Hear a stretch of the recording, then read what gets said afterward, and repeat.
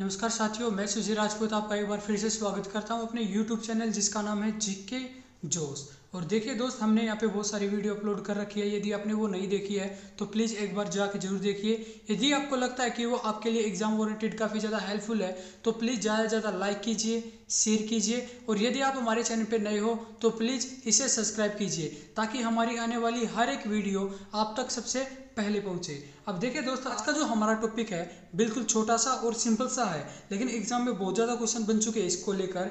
और जो आज का हमारा टॉपिक है दोस्त, वो रहेगा census of India census of India इसे हम बोलेंगे भारत की जनगणना। भारत की जनगणना। भारत की जनगणना को लेकर क्या क्वेश्चन बन चुके हैं आपके एग्ज़ाम में अब तक? वो सारे छोटे से छोटे और बड़े से बड़े क्वेश्चन को हम यहाँ पे डिस्कस करते हुए चलेंगे। आज का जो हमारा टॉपिक है, जिसका नाम क्या है? सेंसस ऑफ़ इंडिया अब यहाँ पे देखिए दोस्त, यहाँ पे बात करा भारत की जनगणना की। एक चीज़ बताइए, हम जनगणना में करते क्या जन का मतलब क्या होता है? व्यक्ति और उसकी मतलब गणना, उनकी काउंटिंग करना। मतलब लोगों की काउंटिंग क्यों करते हैं? तो एक छोटा सा एग्ज़ाम्पल देता हूँ। मान लीजिए आपके घर पे कोई वेडिंग जैसा प्रोग्राम है। तो हम करते क्या है? सबसे पहले हम मेंबर्स को काउंट करते हैं कि कितने क्या मेहमान आ सकते हैं। और उन मेहमानों को काउंट करने के बाद हम क्या करते हैं? उनके खाने पीने का, उनके रहने सहने का एक इंतज़ाम करते हैं। ताकि जो हम वेडिंग करने वाले हैं, उसमें कोई अड़चन ना आए, वो अच्छी तरह से सिस्टमेटिक तरीके से चल सके। तो ऐसे ही है कि आपका इंडिया है। इंडिया के अंदर क्या भाई, बहुत सारे लोग रहते हैं। पीपल्स रहते हैं तो हमें सिंपल सी बात, हमें पहले उनकी काउंटिंग करनी होती है, ताकि हम उनके लिए इंडिया में अच्छी तरह से रहने की, खाने पीने की और जॉब्स की मतलब वही रोज़गार भी तो देना होगा ना, उन सभी की व्यवस्था अच्छी तरह से कर सके। इसलिए हम उनकी क्या करते हैं, जनगणना, यानी कि सेंसस ऑफ़ सेंसस कराते हैं सेंसस ऑफ़ इंडिया यानी कि भारत की जनगणना कराते हैं। जनगणना कराते हैं, आपकी जनगणना होती है, ये होती है दस साल में। दस साल में कितनी होती है? एक बार। दस साल में एक बार होती है। अब ये दस साल में एक बार होती है तो ये कराता कौन है? जनगणना कौन कराता है? ये कराएगा सेंसस कमिश्नर। कौन कराएगा? सेंसस कमिश्नर कराएगा। Census commissioner. सेंसस कमिश्नर कराएगा। कौन सा कराएगा? Census commissioner. यानी कि इसे हम बोलते हैं जनगणना आयुक्त। जनगणना आयुक्त। जो आपकी दस साल में एक बार जनगणना होती है, ये कौन कराता है? जनगणना आयुक्त कराता है, जिसे हम बोलते हैं सेंसस कमिश्नर बोलते हैं इसे।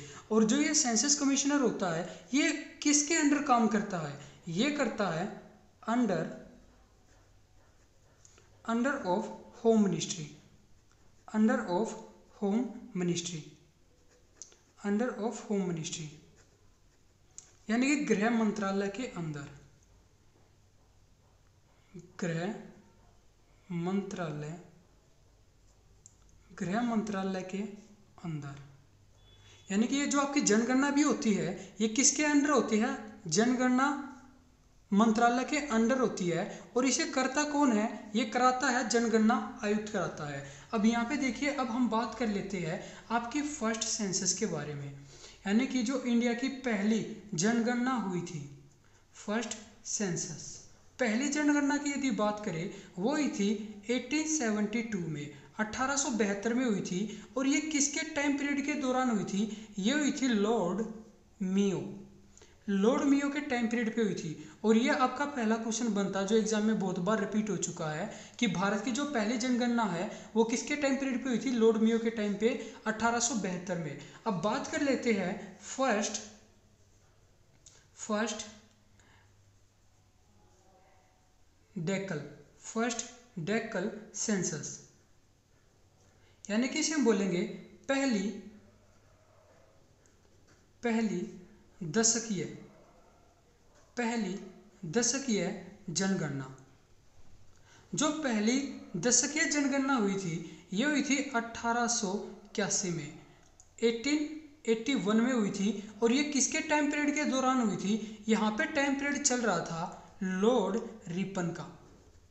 लॉर्ड रिपन यानी कि जो आपकी फ़र्स्ट दशक है यानी कि पहली दशक जो जनगणना हुई थी, वो लॉर्ड रिपन के टाइम पे हुई थी। और ये दोनों के दोनों आपके एग्ज़ाम में बहुत ही ज़्यादा रिपीट हो चुके हैं कि पहली जनगणना कब हुई थी और पहली दशकीय जनगणना कब हुई थी और किन किन के टाइम पीरियड पे हुई थी। यानी कि अगर पहली बात करें जो अठारह में हुई थी, इस टाइम पे टाइम पीरियड चला हुआ था लॉर्ड मियो का और जो हुई थी पहली दशकीय जनगणना उस पर टाइम पीरियड चला हुआ था लॉर्ड रिपन का। अब बात कर लेते हैं किसकी, जो अभी जनगणना आपकी चली हुई है, जनगणना 2011 की। यानी कि मैं बात कर रहा हूँ सेंसस 2011 अगर मैं 2011 की बात करता हूँ दोस्त 2011 की जनगणना के अकॉर्डिंग आपके जो रैंकिंग की अगर बात करें रैंकिंग पहले देख लेते हैं क्रम यानी कि 2011 में जो आपकी जनगणना हुई है, वो कौन से नंबर की जनगणना हुई है? तो ये हुई है पंद्रहवें नंबर की। कौन से नंबर की हुई है? पंद्रहवें नंबर की। लेकिन अगर मैं बात करता हूँ, उन्नीस सौ सैंतालीस के टाइम पीरियड को लेके चले, यानी कि स्वतंत्रता के बाद स्वतंत्रता के बाद यदि सेंसस को काउंट किया जाता है जनगणना को तो इसकी रैंकिंग रहती है सेवंथ और ये भी आपके एग्ज़ाम में बहुत बार रिपीट हो चुका है कि स्वतंत्रता के बाद जो ये जनगणना हुई है 2011 की, ये कौन से नंबर की रही है? ये रही है सातवें नंबर की। और वैसे रैंकिंग कौन सी रही है? पंद्रहवें नंबर की। और जो ये पंद्रहवें नंबर की सेंसस हुई थी 2011 में, इसमें जो इंडिया की टोटल पॉपुलेशन रही है, यानी कि population of India population of India Bharat की जो जनगणना रही है, भारत की जनगणना यानी कि जो पॉपुलेशन रही है, जनसंख्या रही है, वो कितनी रही है? ये रही है 121 करोड़। कितनी रही है? 121 करोड़ की आबादी रही है 2011 की जनगणना के अकॉर्डिंग और 2011 में ये जो इसकी पॉपुलेशन रही है 121 करोड़ इस 121 करोड़ पॉपुलेशन के साथ इंडिया की जो रैंकिंग है, पूरे वर्ल्ड में सेकंड रैंकिंग हो चुकी है. वर्ल्ड में कौन सी रैंकिंग पे आता है? सेकंड रैंकिंग पे. सेकंड रैंक रहता है पॉपुलेशन के अकॉर्डिंग तो फ़र्स्ट रैंक पे कौन सा रहता है? फ़र्स्ट रैंक पे रहता है चाइना फ़र्स्ट रैंक पे कौन सा रहता है? चाइना। और ये भी आपका क्वेश्चन आ चुका है। की बात करता हूँ। जनसंख्या के अकॉर्डिंग जो चाइना है वो वर्ल्ड में पहले नंबर पे आता है और इंडिया का कौन सा नंबर रहता है? सेकंड रहता है। इंडिया के अंदर टोटल पॉपुलेशन कितनी है? 121 करोड़। और देखो यदि मैं वर्ल्ड की ही बात कर रहा हूँ कर रहा हूँ वर्ल्ड की बात तो वर्ल्ड की टोटल पॉपुलेशन का 17.5 परसेंट कहाँ पे है? इंडिया में। ये जो मैंने बताई है, सत्रह पॉइंट फाइव परसेंट, ये ऑफ़ द वर्ल्ड है। ऑफ़ द वर्ल्ड मतलब पूरे विश्व की, अगर मान लो पूरे विश्व में सौ परसेंट है, पूरे विश्व में सौ परसेंट पॉपुलेशन है तो उसका कितना परसेंट इंडिया में है? सत्रह पॉइंट फाइव परसेंट, सत्रह पॉइंट फाइव परसेंट रहेगी। अब बात कर लेते हैं 2011 की जनगणना थी ये। अब आगे कब होगी? मैंने अभी आपको बताया है कि जो जनगणनाएँ होती है, वो कितने साल बाद होती है? दस साल बाद, आफ्टर टेन ईयर। अभी यहाँ पे देखो, दस साल बाद, यानी कि दस साल के बाद जो ये जनगणना होगी, ये कब होगी? 2021 में। यानी कि जो अभी आपका आने वाला है 2021 यहाँ पे इसकी दोबारा से क्या होगी? जनगणना होगी। और 2021 में जो जनगणना होगी, ये कौन से नंबर की होगी? सोलहवें नंबर की। कौन से नंबर की होगी? सोलहवें नंबर की जनगणना होगी। ये भी इसका कोई डाटा आया नहीं है, लेकिन जैसे ही आएगा, वो भी आपको बताया जाएगा। लेकिन एक चीज़ और बता देता हूँ। 2020 में एक रिपोर्ट पेश की गई, और यहाँ पे बताया गया, वर्ल्डेस्ट youth country, वर्ल्डेस्ट youth country youth country. यानी कि विश्व में जो सबसे ज़्यादा युवा वाला देश है, वो कौन सा बन चुका है? इंडिया। इंडिया। इंडिया के अंदर युवाओं की जो जनसंख्या है, वो सबसे ज़्यादा है। और बताया जाता है, यहाँ पे जो एक एवरेज एज निकाली गई थी, एवरेज एज काउंट की गई तो मालूम चला कि इंडिया के अंदर सबसे ज़्यादा यूथ है और उनकी एज, जो एवरेज एज निकाली गई, वो ट्वेंटी नाइन ईयर निकाली गई है। मतलब उनतीस तीस के आसपास क्या रहती है, उनकी एज रहती है। सबसे ज़्यादा जो पॉपुलेशन है, वो इनकी रहती है। अब इसके अलावा और डिस्कस करते हैं किसके बारे में? 2011 की पॉपुलेशन के बारे में। 2011 की जो जनगणना हुई थी, जो सेंसस हुआ था 2011 का। तो यहाँ से क्वेश्चन क्या बन चुके आपके एक बार वो देख लीजिए। क्वेश्चन बन चुका आपका कि 2011 की जो जनगणना हुई थी, यहाँ पे सेंसस कमिश्नर कौन था? सेंसस कमिश्नर क्योंकि जनगणना तो वही कराएगा सेंसस कमिश्नर यहाँ पे जो सेंसस कमिश्नर था, उसका नाम है सी चंद्रमौली।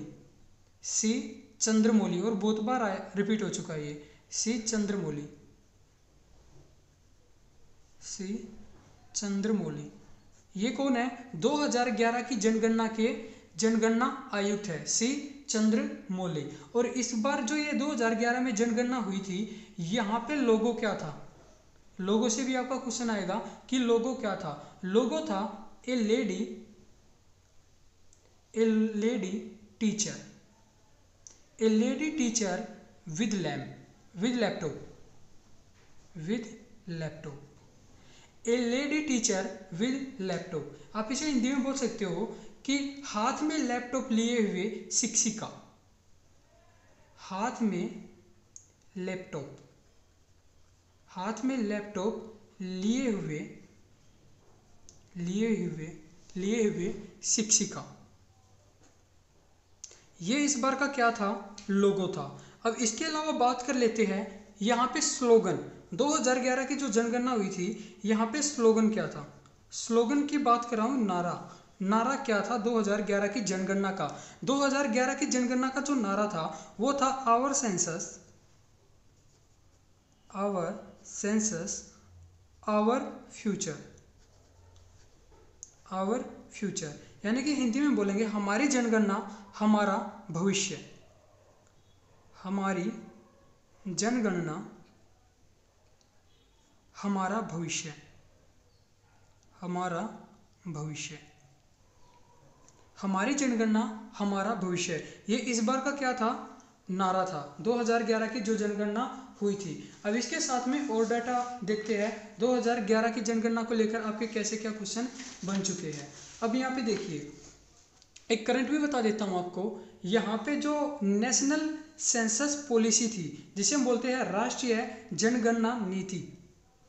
राष्ट्रीय राष्ट्रीय जनगणना राष्ट्रीय जनगणना नीति। अगर मैं राष्ट्रीय जनगणना नीति की बात करता हूँ, कौन सी? 2000 तो इसके अकॉर्डिंग इसके अकॉर्डिंग इसने एक टारगेट रखा था। पॉपुलेशन को देखते हुए एक टारगेट रखा था कि ये 2045 तक 2045 तक जो जनगणना है, उसे क्या कर देगी? शिथिर कर देगी।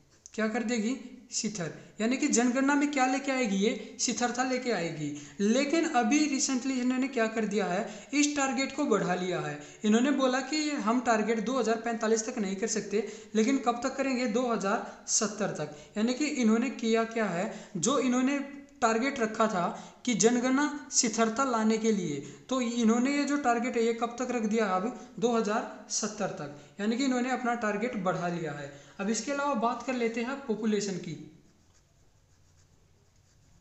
पॉपुलेशन अगर मैं बात करता हूँ स्टेट को लेकर, किसको लेकर बात करता हूँ? स्टेट जिसे हम बोलते हैं राज्य।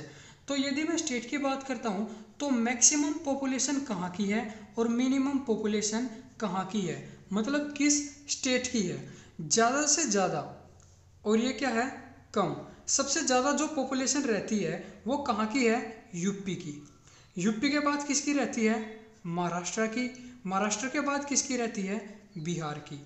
ये इनकी पॉपुलेशन है। सबसे ज़्यादा इंडिया में पॉपुलेशन किस स्टेट की यूपी यूपी के बाद महाराष्ट्र। महाराष्ट्र के बाद बिहार की। और यदि मैं यूपी यूपी की बात करता हूँ, यूपी यूपी के अंदर जो पॉपुलेशन है वो बीस करोड़ के आसपास है। कितनी है? बीस करोड़ के आसपास, लगभग बीस करोड़। और मिनिमम पॉपुलेशन किस स्टेट की है? वो रहेगी सिक्किम की। वो रहेगी सिक्किम। और सिक्किम के बाद किसकी रहेगी? मिजोरम। सिक्किम के बाद रहेगी मिजोरम। और सिक्किम की जो पॉपुलेशन है, वो छः लाख है। कितनी है? सिक्स लैख। सिक्स लैख रहती है। अब आगे देख लीजिए, बात कर लेते हैं यूटी यूनियन टेरिटरी केंद्र शासित प्रदेश की। सबसे ज़्यादा जन, जनसंख्या कहाँ की है और सबसे कम कहाँ की है? सबसे ज़्यादा जो जन, जनसंख्या रहती है, वो रहती है दिल्ली की। वो किसकी रहती है? दिल्ली। और सबसे कम किसकी रहती है? लक्षद्वीप की। वो रहती है लक्षद्वीप की। सबसे कम पॉपुलेशन रहती है लक्षद्वीप की। ये बात कर रहा हूँ यूटी यानी कि यूनियन टेरिटरी केंद्र केंद्र शासित केंद्र शासित प्रदेश की। यूटी यानी कि केंद्र शासित प्रदेश। अब बात कर लेते हैं डेंसिटी ऑफ़ पॉपुलेशन की। Density of population density of population यानी कि इसे हम बोलेंगे जनसंख्या घनत्व। जनसंख्या घनत्व। अगर मैं जनसंख्या घनत्व की बात करता हूँ, दोस्त डेंसिटी ऑफ़ पॉपुलेशन की, देखो डेंसिटी ऑफ़ पॉपुलेशन से मतलब क्या है? यहाँ पे हम काउंट करते हैं, वो काउंट करते हैं पॉपुलेशन वो कैसे? यहाँ पे हम देखते हैं number of peoples number of people number of people living living in one kilometre square area मतलब एक किलोमीटर के अंदर, मान लीजिए ये कोई एरिया है, एक किलोमीटर हो गया इस तरफ़, एक किलोमीटर और एक किलोमीटर हो गया ऊपर की तरफ़। इसके अंदर नंबर ऑफ़ पीपल की संख्या, यानी कि व्यक्तियों की संख्या हम काउंट करते हैं और उसी को हम क्या बोलते हैं? जनसंख्या घनत्व बोलते हैं। मतलब एक किलोमीटर क्षेत्र में रहने वाले लोगों की संख्या, एक किलोमीटर क्षेत्र में रहने वाले लोगों की संख्या। अब देखिए यहाँ सिटी ऑफ़ पॉपुलेशन की बात करता हूँ तो इंडिया की जो एवरेज रहती है इंडिया की जो एवरेज पॉपुलेशन रहती है डेंसिटी पॉपुलेशन रहती है, वो रहती है तीन पर किलोमीटर स्क्वेयर तीन पर किलोमीटर स्क्वेयर अब बात कर लेते हैं क्या? Density of density of population maximum और मिनिमम डेंसिटी ऑफ़ पॉपुलेशन बात करते हैं किसकी मैक्सिमम कौन सी स्टेट की है और मिनिमम किस स्टेट की है। यदि मैक्सिमम की बात करें तो वो आपका रहेगा बिहार। बिहार के बाद रहेगा पश्चिम बंगाल और यदि कम की बात करें तो रहेगा अरुणाचल प्रदेश। अरुणाचल प्रदेश और इसके बाद में रहेगा मिजोरम। कौन सा रहेगा? मिजोरम। यदि मैं बिहार की बात करता हूँ, बिहार की जो पॉपुलेशन है, यानी कि जनसंख्या गंतव्य है, वो है एक हज़ार एक सौ छः वर्ग किलोमीटर। और यदि मैं अरुणाचल प्रदेश की बात करता हूँ, यहाँ पे रहती है सत्रह से अठारह वर्ग किलोमीटर। मतलब एक वर्ग किलोमीटर के अंदर आपको सत्रह से अठारह व्यक्ति ही देखने को मिलेंगे। मिजोरम के अंदर पड़ता है फिफ्टी टू कितना पड़ता है? फिफ्टी टू ये था स्टेट को लेकर। अब बात कर लेते हैं किसको लेकर? यूटीज को लेकर। जिसे हम बोलते हैं यूनियन टेरिटरी यूटी को लेकर बात कर लेते हैं यूनियन टेरिटरी यदि मैं यूटी की बात करता हूँ तो मैक्सिमम डेंसिटी घनत्व कहाँ का है और कम कहाँ का है? यहाँ पे देखो, यदि मैं यूटी की बात करता हूँ, यहाँ पे जो मैक्सिमम डेंसिटी रहती है, वो किस स्टेट की रहती है? मैक्सिमम रहती है दिल्ली की। दिल्ली के अंदर सबसे ज़्यादा जनसंख्या घनत्व है और कम कहाँ का है? अंडेमान निकोबार। कम कहाँ का है? अंडेमान निकोबार। अब इसी के साथ में एक चीज़ और डिस्कस कर लेते बिल्कुल छोटा सा रहेगा आपका सेक्स रेशो सेक्स रेशो जिसे हम बोलते हैं सेक्स रेशो मतलब यहाँ पे लिंगानुपात की बात कर रहा हूँ मैं। यहाँ पे इसे क्या बोलते हैं? लिंगानुपात। मतलब यहाँ पे हम काउंट करते हैं, एक हज़ार लड़कों पर कितनी लड़कियाँ हैं। अब यहाँ पे देखो, सबसे पहले बात कर लेते हैं किसकी? स्टेट की, राज्य की। कि सबसे ज़्यादा सेक्स रेशो कहाँ पे है और सबसे कम कहाँ पे है? सबसे ज़्यादा जो सेक्स रेशो है, वो कहाँ पे है? केरला में। कहाँ पे है? केरला में। और यहाँ का जो सेक्स रेशो है, वो रहेगा एक हज़ार चौरासी लड़कियाँ। कितने लड़कों पर? एक हज़ार लड़कों पर। अब इसके अलावा देख लेते हैं, कम कहाँ का है? कम पड़ता है हमारे हरियाणा का। कम कहाँ का रहता है? हमारे हरियाणा का। यहाँ का जो सेक्स रेशो रहता है, वो रहता है आठ सौ उना सौ उनासी कितने पर? एक हज़ार लड़कों पर। अब इसके अलावा देखिए यहाँ पे, अब बात कर लेता हूँ किसकी? यूटी की, जिसे हम बोलते हैं यूनियन टेरिटरी मैक्सिमम कहाँ का रहेगा और मिनिमम कहाँ का रहेगा? अगर मैं मैक्सिमम की बात करता हूँ, जो सेक्स रेशो रहता है, वो रहता है पुदुचेरी। वो कहाँ का रहता है? पुदुचेरी का रहता है। और मिनिमम कहाँ का रहता है? दमन एवं द्वीप का। दमन एंड दीव दमन एंड द्वीप का रहता है। और इसी के साथ में हमारा जो टॉपिक आज का, जिसका नाम है सेंसस ऑफ़ इंडिया ये कंप्लीट होता है, भारत की जनगणना। लेकिन एग्ज़ाम में क्या क्या क्वेश्चन आ चुके हैं वो बता देता हूँ। जो जनगणना, वो कितने साल में एक बार होती है? दस साल में होती है। और ये कराता कौन है? ये कराता है जनगणना आयुक्त। जो कि किसके अंडर काम करता है? गृह मंत्रालय के अंदर। जो पहली जनगणना हुई थी, वो हुई थी अठारह में, और इस टाइम पे जो टाइम पीरियड चला हुआ था लॉर्ड मियो का। अगर पहली दशक ये पूछता है जनगणना तो ये हुई थी अठारह में, और यहाँ पे जो टाइम पीरियड चला हुआ था, वो लॉर्ड रिपन का चला हुआ था। 2011 की बात करें, जो जनगणना हुई थी, पंद्रहवें नंबर की रही थी। लेकिन अगर स्वतंत्रता के बाद बात करें तो सातवीं रैंकिंग रहती है। और जो पंद्रहवीं जनगणना हुई थी, यहाँ पे जो पॉपुलेशन रहती है, वो इंडिया की कितनी थी? 121 करोड़। और 21 करोड़ पॉपुलेशन के साथ वर्ल्ड में सेकंड रैंकिंग पर रहा था इंडिया पहले पे कौन रहा? चाइना और ये पूरे वर्ल्ड की पॉपुलेशन का 17.5 परसेंट इंडिया में है। 2021 की बात करें तो ये सोलहवीं जनगणना होगी। और यह अभी जो रिसेंटली डाटा आया था, उसके अकॉर्डिंग इंडिया सबसे वर्ल्ड की सबसे यूथ कंट्री है। मतलब वर्ल्ड में सबसे ज़्यादा जो यूथ है, वो इंडिया में है। और जो एवरेज एज निकाली गई थी, वो कितना था? 29 ईयर और 2011 की जनगणना की बात करें तो यहाँ पे मैंने कुछ लिखा कि यहाँ पे जो जनगणना आयुक्त थे, वे थे सी चंद्रमौली। और इस बार का जो लोगो था, वो था a lady teacher with the laptop मतलब हाथ में लैपटॉप लिए हुए एक शिक्षिका दिखाई गई थी। और जो स्लोगन नारा रहा था, वो था आवर सेंसस आवर फ्यूचर हमारी जनगणना, हमारा भविष्य। और इसके साथ में और डिस्कस कर लेते हैं। मैंने अभी बताया था कि जो राष्ट्रीय जनगणना नीति है, राष्ट्रीय जनगणना नीति 2000 के अकॉर्डिंग इन्होंने एक टारगेट रखा था कि ये भारत की जो जनगणना है, उसे शिथिर करेंगे कब तक? 2045 तक। लेकिन इन्होंने ये टारगेट बढ़ा के कर दिया गया है 2070 तक। पॉपुलेशन की बात करें तो मैक्सिमम पॉपुलेशन की स्टेट की है? यूपी की। मिनिमम है सिक्किम की। यदि यूटी की बात करें तो किसकी रहेगी? दिल्ली। और कम की बात करें तो किसकी रहेगी? लक्षद्वीप की। और यदि मैं बात करता हूँ डेंसिटी ऑफ़ पॉपुलेशन जनसंख्या घनत्व की, इसमें हम करते क्या है? किलोमीटर एरिया के अंदर हम काउंट करते हैं व्यक्तियों की संख्या, कि वो कितनी होगी। उसी को हम क्या बोलते हैं? जनसंख्या घनत्व। अब बात कर लेते हैं जनसंख्या घनत्व सबसे ज़्यादा किस राज्य की है? बिहार की, और सबसे कम किसकी है? अरुणाचल प्रदेश की। अब यहाँ पे देखिए यदि मैं यूटी की बात करता हूँ तो मैक्सिमम कहाँ की? दिल्ली की। मिनिमम कहाँ की है? अंडेमान, निकोबार की। फिर हमने लास्ट में देखा था सेक्स रेशो इसमें हम करते क्या है? एक हज़ार लड़कों पर काउंट करते हैं, कितनी लड़कियाँ हैं। तो मैक्सिमम किस स्टेट में है? केरला में। और मिनिमम कहाँ पे है? हरियाणा में। और यूटी की बात करें तो मैक्सिमम कहाँ की है? पुदुचेरी और मिनिमम कहाँ की रहेगी? दमन एवं द्वीप की। और इसी के साथ अपने शब्दों को विराम देते हैं। थैंक यू और जय हिंद, जय भारत।